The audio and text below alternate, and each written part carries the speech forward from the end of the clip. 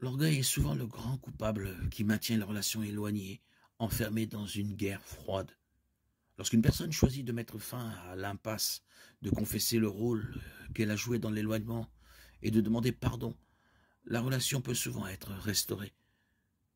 Dieu promet de pardonner et de restaurer quiconque vient à lui au nom de son Fils Jésus. Romains 10, 12, 13.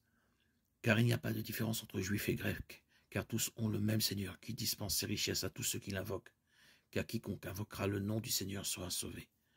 Jean 14, 6. Jésus lui dit, je suis le chemin, la vérité, la vie. Nul ne vient au Père que par moi. Psaume 99. Rétablis-nous, Seigneur, Dieu des armées, que ton visage brille, afin que nous soyons sauvés. Jean 3, 16, 18.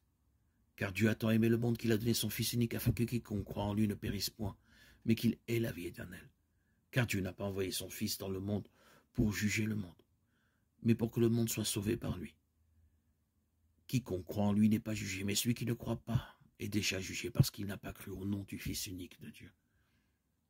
La mort et la résurrection de Jésus-Christ mettent fin à l'éloignement de Dieu pour tous ceux qui viennent à lui par la foi. Jean 1.12. Mais à tous ceux qui l'ont reçu, à tous ceux qui croient en son nom, il a donné le pouvoir de devenir enfants de Dieu.